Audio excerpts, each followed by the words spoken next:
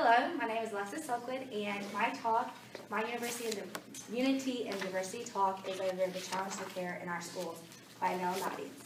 During this talk, I will touch on three key concepts. My first concept is who Miss Noddings is. Her second is what her, she contribute to the education, and the third is how I'm going to apply that to my social studies classroom.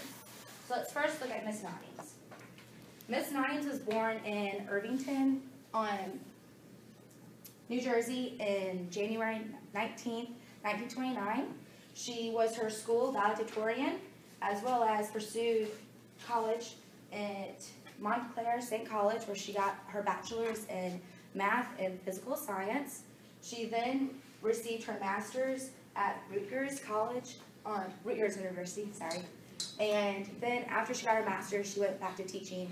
She taught at an elementary school and a high school for 17 years and then she decided to pursue further education and get her PhD at Stanford Graduate School of um, Education, where she then was a member of their staff in 1977. She held various um, academic honors, like at one point in time she was the academic acting dean and associate dean for four years for this College of Education, and she also held other various positions. Um, where she worked as an academic in the field of philosophy and talked about ethics. She retired in 1998, but she wasn't done then. She decided to keep writing books. She wrote 17 books and over 200 articles. Miss Noddings has 10 children. She has 39 grandchildren and over 20 great-grandchildren who most are actually educators themselves. She was married for 62 years before she lost her husband in 2012 over cancer. Like, like Miss Noddings, I agree that she said that her education growing up influenced her philosophy once she became a teacher. And we all know that there's those teachers that you want to be just like. We also know there's teachers that you want to be like, eh, I want to be the complete opposite of those teachers because I didn't like that class or how they ran it. So what we do and what we've been through influences up what we're going to be tomorrow. My buzzword is care. I chose this, well, technically Miss Noddings did, because her whole book is about caring, and Miss Noddings believes that there should be taken away from compartmentalized subjects and put on concepts of care. And these six concepts are care for self, care for the inner circle, care for strangers and distant others, care for animals, plants, and the earth, care for human-made world, and care for ideas. Although I would love to talk to y'all about each one of these individually, I don't think I would do it under 20 minutes. So as you'll see, I gave you a handout and I picked out a couple of things from each of those throughout the book that would kind of sort of be able to help with your teaching in your classroom. Y'all can take a look at that later if y'all want it. When you think about what Miss Nell Noddings contribute to the education, one must think, what is care? According to the German philosopher Martin Heidegger, he describes care as the very being of human life. We all are humans. We're social people. We want to care for people, and we want people to care for us. So everything that you do, it's about benefiting yourself or others. Ms. Noddings argues against liberal education, saying that it's so straightforward and you're so tracked on doing every subject, and you're trafficking students either go to the college or go to the workforce instead of looking back and seeing what the student needs. And she has this by saying we should do concepts of care. And when you center around care, you center around what the student's needs are. Um, she also believes that as long as our school is on a hierarchy, everyone will be focused on the rewards and penalties of work instead of what the work is actually doing. Everyone would love to have high grade scores, but that might not always translate to what you're going to do in the real world. It's more important to have knowledge that you can apply to your life than have knowledge of who died in 1916. Mortimer Adler argues that there are no ch unteachable children. There are only schools, teachers, and parents who fail to teach them. I agree with this because back in my grade school, I have an older brother. He's two years older than me. One of his grade school teachers said he is the dumbest kid they ever had. He acts out. He never does his work. He's always getting into trouble, and they never stopped and thought, why is he getting into trouble? My mom then got him tested, and we moved schools, and she found out that he had severe ADHD. So instead of showing that he couldn't do the work, he would act out, and the teachers wouldn't try to see that. After one year at our new school, our teacher said that he was one of the smartest kids in her class because she took time to care about him and not what he was scoring. The moral of that story is the teachers at my new school cared about us. They didn't care about what we got on a state's test. They care about us as individuals. As teachers, we definitely did not choose this occupation for our salary because everyone knows teachers don't get paid a lot. We choose it because we care about our students. Not one of y'all chose it because, oh yeah, you're gonna make millions. Doubt that. So you chose it because you care about students and you care about their education. Miss Noddings gave the concept of they don't care. As a history teacher, this really hits home because no one likes history. They always think it's about dead old white men. Why do we need to know that? Well, to me, it's your history helps develop your, your past, develops your present. So, in order to get people to stop don't caring, you have to get something that they're relevant, that they know, and that they're interested in. Ted Sizer is an ally because he has a shift in interdis- interdisciplinary studies where the focus isn't so set on one question, one answer, one way. Instead, they have it where you have a theme and you can t- approach it on different on different sides, so that instead of it being one right answer, you have people's thinkings. This also will lead to people having discussions, where when you have discussions in your classroom, like a debate, you get to hear sides of both stories, and you might find out a student might look at something a little bit differently than you do. One of the things that she said was we have to be educators first, mathematicians, mathematicians second. Although we're not all math contents, it's de- definitely relatable. As teachers, we have to educate our students. I remember there's times when there was something that happened, like politically, or even whenever we had the shooting, or the scare of the shooting, we didn't just move on like nothing happened. Our teachers stopped and talked about it. We got educated, because that is what we needed. That was the care that we needed that day. And that's what good teachers do. They figure out what the students need. Although I can't talk about all six, I would like to talk about these two because they really hit home for me. On the caring for self, one of the things that Nell Nodding says is we have to have intellectual as well as practical aspects in our education. We don't need to know all knowledge. We also need to know knowledge that we can apply to later in life. She uses the example of as PE, we don't need to just say, you need to go run a mile because you need to do it. You need to tell them why you need to run a mile to stay fit so that when they do graduate, they don't have someone to say there, oh, you need to go run a mile, it's Tuesday morning. They know how to take care of their body. One of the, te- one of the philosophers in the book said, Goethe said, we learn from those we love. I don't know if you all remember, but we remember those teachers that impacted us because they cared about us. I love for students to know who died in 1916, who was the first president, what year they were, what year they ran, what Republican or Democrat. But I'd rather have students know why they should vote, why they should want to be a good American. What what is their heritage? How can their heritage apply to them? And why is it so important? Because that is who makes up, us up. The caring for the inner circle, um, I'm sorry, developing relationships. We have to develop relationships that students know that we're going to always be there for them. And that's with your coaches, that's with your teachers, your teammates, your associates, your colleagues. You have to have a caring relationship because, like I said earlier, I want to care for you and y'all want to care for me. That's just our human nature. Another thing is we have to find what is important to the students. We have to know what refreshes or renews them. Like for me, if y'all want to talk about softball or do yourself projects or even reading, I, I will talk to you all day. And then maybe as a teacher, if you know that a student's interested in that, you might get them to finish that science homework or that math homework, that one hard problem, because they actually know that you care about what they're doing. When we care in the inner circle, the takeaway point with this is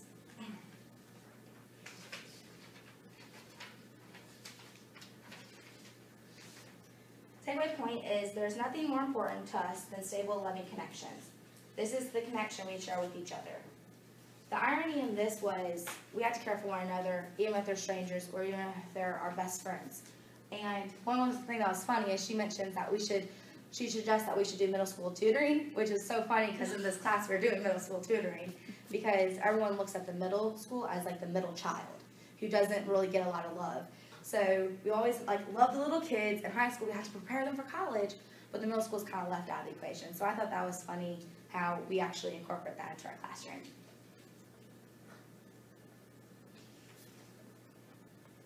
Like I said earlier, Goethe mentioned that we learn from those we love.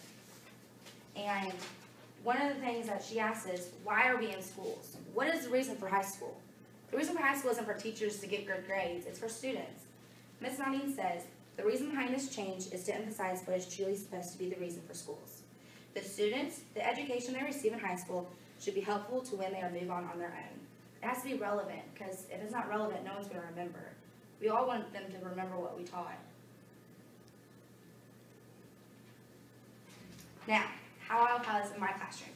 So, although I'd love to, I doubt as a new teacher I'll be able to change the curriculum of the whole entire school. So, instead of doing that, I would like to change it first in my classroom. One way I can do that is by having field trips. We can go to local hospitals and local nursing homes and talk with the elderly who have experienced historic events and have partaken in that. We can talk about how that's affected them and just how they are doing and how they did and what they were doing and if they remember it. This firsthand account is not going to be around for long and it will help develop a relationship between our school and the community, as well as give them a friend to go visit. After hearing these stories, students can compare to primary documents while also finding historical newspapers and events from the days that the elderly can remember. This will also help students to work on writing historically accurate papers while also working cross-curricular with English while meeting literacy standards mentioned in the Mississippi Social Studies Framework. Another way is to have guest speakers. If we can't take our children out to field trips, we can take the field trip inside. So whenever we have guest speakers, we can have like local historians or um, museum workers come and show artifacts over the unit we're studying that week, and it'll give them a reason to care for that handmade world and be able to see, hey, in 1900, they didn't have cell phones, they didn't have Instagram. How did they talk to each other? And be able to see and sort of live that life instead of just reading it in a book. Another one that I really was passionate about is, is a middle school project. This can be helped by having a high schooler and a middle schooler partner together and do a project for the end of the year. This will help the older students learn how to be good role models because, like us, we're teachers. We're going to be role models if we like it or not. So we might as well be a good one. Plus, it helps the younger kids see, hey, it'll actually be nice to stay in, stay in high school, and it's okay to hang out with kids younger than you. It's okay to be a good role model. Plus, it'll be fun and get them a little bit different. These middle school partnered projects can be any section of history we decided as the teachers. While having a social studies fair at the end of the school end of the school year, students can show off their inner history nerd with style with their middle school partner. By having rubrics and guidelines throughout the semester, standards will be met from both the National Council for Social Studies as well as the Mississippi Social Studies Framework. Um, this, these all would also meet our standards.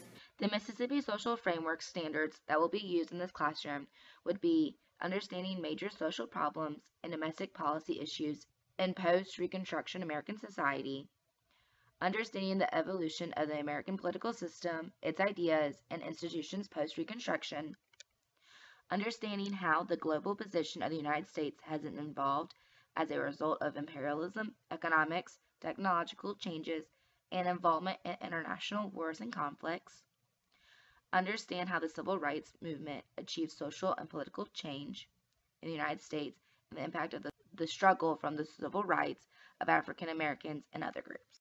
The NCSS standards that will be met would be over the time continuing and change standards, the people, places, and environment standards, which mostly likely be the focus, considering that one of the concepts of care is over people, places, and environments, as well as assisting students in learning about um, personal connections to these time, places, and social cultural systems. So while we're having fun, we're also learning what we need to as well. And one of my teachers, she did something like this. At the end of the year, our senior year, the very last project, we'd have our end of the year project. And everyone was so excited about it. Some of us picked our, our themes sophomore year because we knew we were going to have to have it. These themes ranged from the Gateway Arch to silent films and even like torture methods. Like it was whatever you can think of. And everyone remembers that class because it was so much fun because we gotta be the teacher for the day, and we gotta teach our classmates whatever we wanted. Plus, even years later, you're always gonna remember, oh, hey, you're the one that did the silent film, that was so cool. So that's one of the teachers that I wanna be like, because she made it fun, and that's one of the ones that is the teachers that you love that cares about us and let us pick our own subject. Another teacher did completely opposite of what other history teachers did. He let us choose our curriculum. We got to choose what type of test we would have to make us feel like we're actually the ones picking, when actuality, he would be the one letting us feel like that, but we were learning what we need to. And this teacher got us the same information as the other class, but we remembered it because we had more fun, because he did it innovatively, because he cared about us.